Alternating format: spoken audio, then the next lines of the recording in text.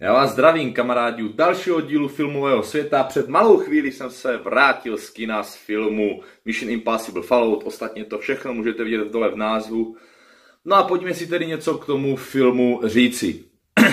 Zpočátku, tuto sérii už od prvního dílu opravdu zbožňuju a asi mám buď na stejné, anebo možná o půl schodu nebo půl schůdku jako více oblíbené než třeba série Rychle a zběsile. OK, i sérii Rychle a zběsile zbožňuju, ovšem tam jsou takové díly, které až tak nějak extra nevyhledám. OK, v rychlosti Rychle a zběsile dvojka, to nemusím vidět. Trojka je taky celkem nic moc, možná ještě víc než ta dvojka. Čtyřka jako není špatná, není to žádná sláva. Prakticky až od pátého dílu, kde se objeví Dwayne The Rock Johnson jako Hobbs, tak to stojí za něco. A teď ty poslední díly jsou luxusní OK, když je to více už takový spíš sci-fi. Ale tu sérii mám rád, vždycky mě bavila a zbožňuji. Ovšem, Mission Impossible je ten příklad filmové série, který úplně jednoduše kvete. Jo? Dobře, měli jsme tady druhý díl, který je sotva průměr. Asi bych to nazval jako průměrný akční film. Za to jednička ve své době byla jako velice populární, bylo to svým způsobem něco, něco nového, nový styl špionážního akčního filmu. Bylo tam spoustu v té době novátorských věcí, jo, a tady to převlíkání, že ano, ty nový obliče, tady tohle. Prostě taková kdyby novodobější bondovka, nebo to je jedno, jak to nazveme, ale už první díl se mi hrozně líbil. OK, dvojka teda byla slabší, třetí díl naprostý boom, jo, a z toho, jak byl hodnocený druhý díl, najednou vzešel třetí díl, který který patří k nejlepším akčním filmům snad jako posledních, já nevím, kolika ti x letech, jo. To samý čtyřka, naprosto perfektní, pětka, taky bomba a nyní tady tedy máme šestý díl Fallout. Kdybych nyní i s šestým dílem, ze kterým jsem se teďka vrátil z kina, měl dát posloupně Mission Impossible, nebo zkrátka od nejlepšího po nejhorší, tak Nejho, nejlepší, začneme od nejlepšího, nejlepší díl je opravdu asi teďka ten šestý. Což už je jen krásný důkaz toho, že i po tolika letech, nejenom, že ta série drží nějakou kvalitu, ale ještě i tou kvalitou dokáže jít nahoru. Kdyby vás zajímalo, jak je to dál, tak asi šestka, pětka, trojka, čtyřka, jednička, dvojka. Jo, asi takhle, ale určitě na prvním místě by byla šestka a na druhém pětka. Jo, tady tyhle. Ostatně Národ grázlů, předešlý díl, prakticky je první polovina tohohle filmu. Jo. Národ grázlů a nynější díl Fallout je, to je jeden film rozdělený ve dví. Jo. E, vlastně i ta dvojka pokračuje, nebo dvojka, šestka vlastně pokračuje právě v tom národu grázlů, v té, z té speciální jednoce, a teďka nevím, jak se jim, jak se jim říkalo, ale ten, kdo neviděl předešlý díl, tak možná bude trošku v některých scénách nebo v některých věcech asi trošku jako plavat, nebude úplně všechno chápat. Ale jdeme už tedy k samotné, teda šesté, šestému dílu Mission Impossible.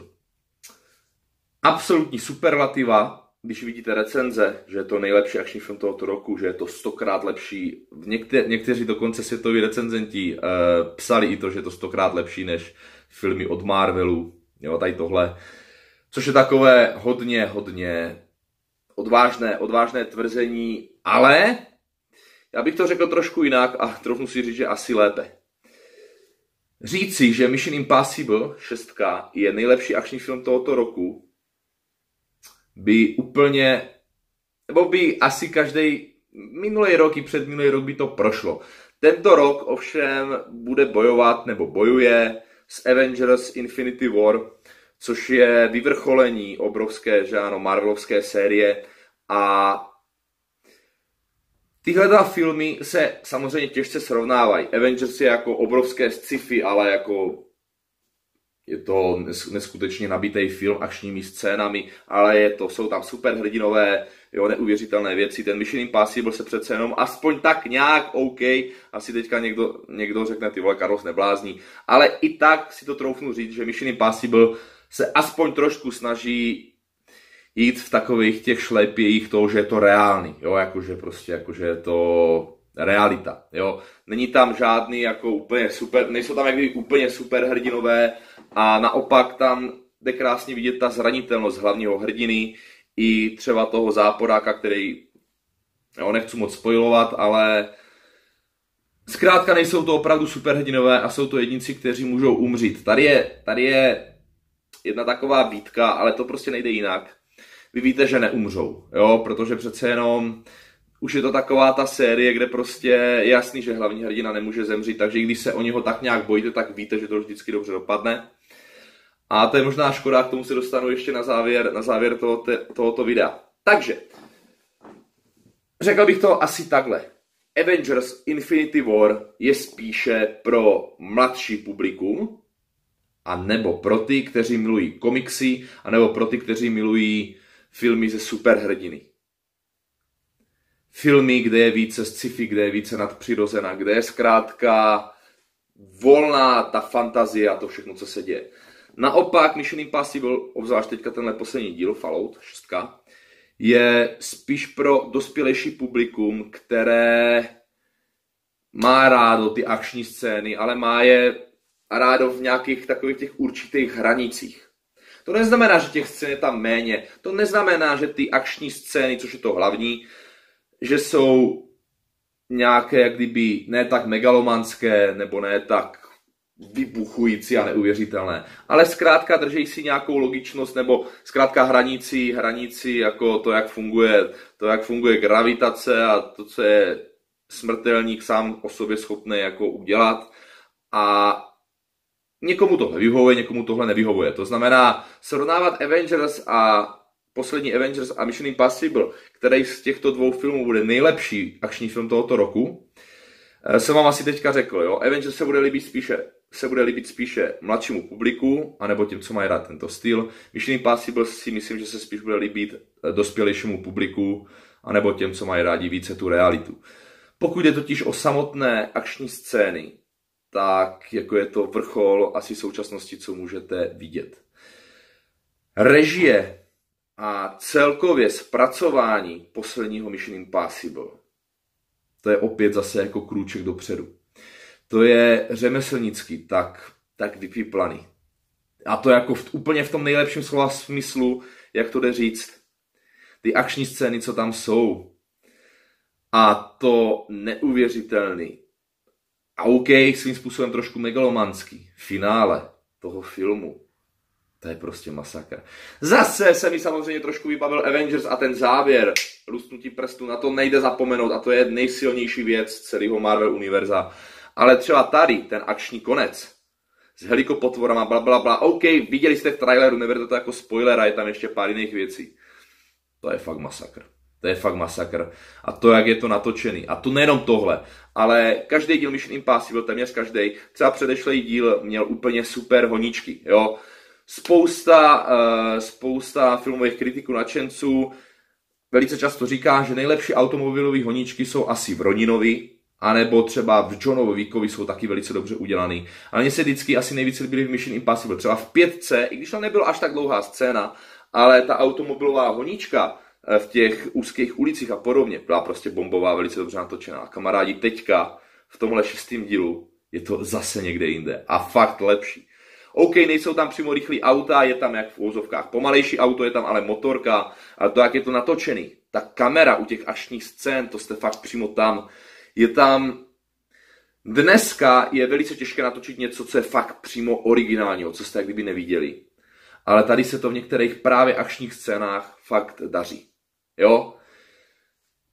Určitě si jako neřeknete, jo, a tohle vidím poprvé. To samozřejmě ne, ale takhle vypiplaný to určitě uvidíte poprvé. Třeba zrovna tu, ty automobilové nebo motor, no zkrátka honíčky v autech nebo na motorkách, jo. To, to je naprostá pecka, jo akční scény zkrátka. A to nejenom teda, pokud jde o auta, helikopotvory, motorky, eh, ale i mlácení, jo, utíkání, skoky, všechno je prostě naprostá špička, co v kině, co v kině si to sakra užijete. Jo? I přesto, že akční scény jsou na prvním místě, což je logické, tak děj, pokud jste viděli předešlé díly, tak je taky svým způsobem takové lehké vyvrcholení takové té série Mission Impossible a nemyslím jako vyvrcholení, jo. Zkrátka jako pár věcí tam do sebe zapadne, jak kdo viděl předešlé díly, tak ho to třeba i mile překvapí a taková ta špionážní linka, ten příběh je opravdu dobrý. Není to žádná Sofína volba, žádný prokletý ostrov, není to žádná příběhová orgie, kdy jako ty brďo, ty brďo. To určitě jako si tohle říkat nebudete, ale rozhodně to není nic hloupého. A trošku takové ty hluchá místa, kdy Ethan Hunt, Tom Cruise se bude jako omlouvat stále někomu, že ho všechno mrzí svým způsobem, jo, tak přimouříte oko, protože, přimouříte očko, protože tohle tam bylo trošku, co mě jak kdyby nevadilo, ale já jsem viděl všechny předešlé díly několikrát, takže jako právě si řeknu úplně v pohodě. Ale ten, kdo třeba viděl předešlé díly jenom jednou, nebo neviděl, tak to bude takový trošku jako, že ty vole, no tak jo. Ale to jsou tohle, co jsem tady vyjmenoval, jsou fakt jakože drobnosti, úplně malinký miniaturní kazy na, na kráse. Jo? Jako pár hluchých míst, i s tím příběhem, i s tím omlouváním, prostě já vím, že kdo ten film viděl, tak prostě asi, já nevím, jestli z toho všiml třeba jenom já, popravdě jsem to nikdy nečetl, ale prostě on se tam každému na konci filmu jako omlouvá, jo, prostě jako, že ho to mrzí a to, což může být možná trošku otravný, jo, nebo takový zvláštní, ale jsou to, jsou to jako fakt úplný, úplný maličkosti a drobnosti. Takže, jaký teda vlastně film Mission Impossible je? Je to opravdu nejlepší akční film tohoto roku. Je to nejlepší akční film posledních let. Velice těžké odpovědět. Kvalitní akční filmy tady jsou a i když třeba, taky jsem to tady teďka nadhodil, třeba John Wick, jako je velice nadprůměrně hodnocený, ale ne úplně jako ultimátně. Tak třeba pro mě John Wick je zrovna asi nejlepší akční série jako současnosti. Jednička, dvojka, nemůžu se dočkat na trojku, prostě to úplně, ty brďo, na to se neskutečně těším. A abych se vrátil k Mission Impossible, je to už velice dlouhá, dlouholetá taková akční špionážní série, která krom druhého dílu si stále drží kvalitu, zvyšuje si tu kvalitu a věřím tomu, že je to pro drtivou většinu diváků, zkrátka pro ty, kteří už ví na co jdou, co už viděli předešlý díly a tak který ví, co od toho čekat. A přesně pro tyto diváky, třeba i pro vás, pro tebe, bude tohle naprostá pecka. Pro ty, co neviděli předešlé díly, tak tam bude největší tahon ty akční scény, které jsou prostě fakt neuvěřitelné. Ostatní věci, jo, eh, ten styl, špionážní styl, jako vyprávění, jo, prostě tam jsou takový ty, jako, že ten zradí toho, ten, toho komu, se, komu se dá věřit, jo, a tenhle a ten je zlej, nebo je hodnej, jo, to, to nemusí sednout každému už jen proto, že právě třeba neviděl ty předešlé díly a pak se v tom ztrácí, tam není nic vysvětleno, což ale třeba jako mě vyhovuje, protože já jsem ty předešlé díly viděl, takže hnedka bum a jedeme. Pro tyto lidi tam můžou být v tom filmu hodně hluchá místa, nebo ne hodně, ale pár hluchých míst, kdy prostě nebudou chápat. Ale jinak je to naprostá pecka. To znamená, pro mě je to asi na stejném místě jako s Avengers, pokud jde o akční film roku 2018. Opravdu si netroufnu říct, který je trošičku výš nebo trošičku míň. Možná samozřejmě teďka mluvím, protože jsem přišel z kina, tak je trošičku víc ten Mission Impossible. Na druhou stranu Avengers, to vyvrcholení, Thanos, lusknutí prstu, tohle všechno, jo. Fakt je to ale úplně u sebe, což ale si myslím, že to že ta největší lichotka, co tady můžu říct. Protože srovnávat nějaký akční film s tak obrovským filmem, jako je Avengers Infinity War, to už samo o sobě je ta největší pochvala. A to já tady dělám. Pokud váháte, jestli na tento film jít do kina, tak pokud máte rádi akční filmy, tak neváhejte a běžte. Jo? Pokud se vám třeba předešlé díly Mission Impossible nelíbily z jakéhokoliv důvodu, pak na to nechoďte. Pokud jste neviděli ani jeden předešlý díl, možná budete trošku tápat, ale ty akční scény to zachrání. Takže asi tak. Já jsem z toho filmu opravdu hodně, hodně nadšený. A je to bomba, prostě už se těším, až to budu mít doma na Blu-rayčko a se na to podívám tady na televizi, protože tohle fakt stálo za to. Tak jo, kamarádi, díky moc, že jste mě sledovali, díky moc za to, že vás tady tyhle filmové díly, filmové série baví a já nyní asi nejbližší době půjdu zřejmě do kina na sestru Jeptišku Denun, další horor z univerza v zajetí démonu, zřejmě, nevím, jestli bude ještě něco předtím, uvidíme, a však to se dozvíte. Mějte se, díky moc a ahoj, čau. Kamarádi, nestává se až tak moc často, abych jak kdyby na něco zapomněl a pak to chtěl dotočit, ale k tomuto, k tomuto ještě jsem se chtěl vyjádřit. A to jsou herecké výkony. Hlavně Henry Cavill, neberte to jako nějaký spoiler, protože ono i z toho traileru to šlo vidět, že on je jak kdyby hlavní záporák, nebo patří mezi hlavní záporáky. A právě Henry Cavill, můžete ho znát jako Supermana, že ano, tak svou roli zahrál úplně neskutečně. Já jsem se toho trošičku bál, protože přece jenom ty vole, jakože Superman nejvíc kladná postava, role, co snad jde, a jestli ten herec vůbec bude umět fakt takového správného hajzla, no a jenom takový ten knírek, co měl hitlerovský, nebo nevím, co to bylo, jako jenom ten asi nepomůže, ale moje obavy teda byly absolutně mimo, protože tak, jak on to zahrál, takovej hajzlík a přesně jak bylo řečeno v traileru, jo, že Ethan Hunt je takový skalpel a on je kladivo, tak přesně tak působil. Hromotluk, co se prostě s ničím nesere a všechny rozbije, rozmlátí na sračku a v tom filmu to bylo fakt super. Všechny herecké role, prakticky všechno obsazení, jako je super a herci bomba. O tomu Cruiseovi netřeba se jako bavit, jo. To, jak si všechny kaskaderské kousky dělá sám. Tady Žáno si zlomil, si to zlomil achilovku, jo, nebo něco. Tady v tomhle díle Mission Impossible můžete vidět na YouTube a podobně. Všechno tohle je prostě všechny těle herci jako super, jo. I Simon Peck, který mám strašně rád, i když to Mission, Mission Impossible působí jako taková komická vsuvka, tak třeba pozor, teďka ten šestý díl není až tak moc, on žádný díl Mission Impossible není tak nějak kdyby vtipný, ale třeba v předešlém díle, i ve čtyřce, i v pětce, tam občas jste se zasmáli, jo. Teďka v šestce tam byly snad jenom dvě takový nějaký na pousmání scény, jinak to bylo fakt hodně jako tažený na vážnou notu.